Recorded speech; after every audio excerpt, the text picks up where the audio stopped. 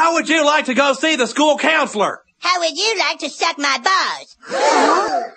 What did you say? Uh, uh I'm sorry, I'm sorry. Actually, what I said was, How would you like to suck my balls, Mr. Garrison? holy shit, dude.